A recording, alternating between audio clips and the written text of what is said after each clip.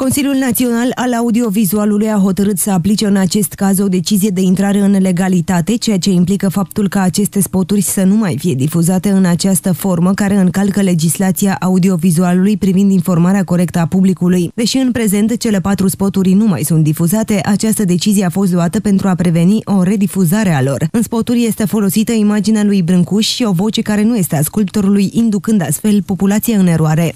Am luat cunoștință de decizia CNA-ului vis-a-vis de interzicerea celor patru spoturi publicitare din uh, reclama Check uh, Bank în care uh, au fost folosite lucruri neadecvate și în care populația a fost practic indusă în eroare pentru că uh, s-a folosit vocea unui actor uh, și lumea putea să creadă că ar fi vocea lui Brâncuș. Brâncuș nu a fost niciodată înregistrat, vocea lui nu a fost niciodată regăsită în vreo înregistrare de niciun uh, fel.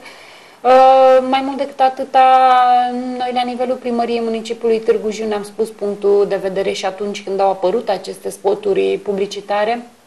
E, pentru realizarea lor, uh, regia considerăm că nu a fost cea adecvată și, um, sigur, uh, pe de altă parte, inițiativa de a promova în orice fel pe Constantin Brâncu și operele monumentale pe care ni le-a lăsat nou aici la Târgu Jiu este lăudabilă, doar că, sigur, trebuie făcută întotdeauna așa cum trebuie, cu fundament și cu sprijinul specialiștilor, pentru a nu se crea astfel de erori. Decizia a fost luată cu unanimitate de voturi la propunerea membrului CNA Răzvan Popescu pentru încălcarea articolului 93 din Codul de Reglementare a Conținutului Audiovizual, potrivit căruia comunicările comerciale audiovizuale trebuie să respecte, indiferent de formă și de durată, principiile de protecție a minorului, de informare corectă a publicului, de respectarea demnității umane și de asigurare a unei concurențe loiale. Reprezentanții Centrului Municipal de Cultură Constantin Brâncuș din Târgu Jiu susțin și ei această decizie.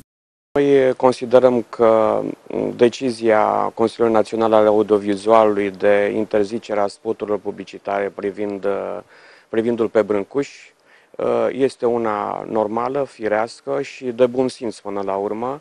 Uh, cred că în acest moment uh, Czech Bank, care este o instituție serioasă, va trebui să ia unele uh, măsuri în privința difuzării acestor sporturi.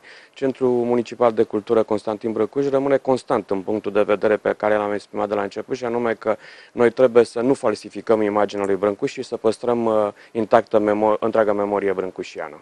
CNA a primit șase reclamații în urma difuzării acestor spoturi publicitare care au fost transmise la mai multe posturi de televiziune în luna septembrie. Potrivit membrilor CNA, spoturile ar fi fost difuzate și în luna octombrie la anumite televiziuni.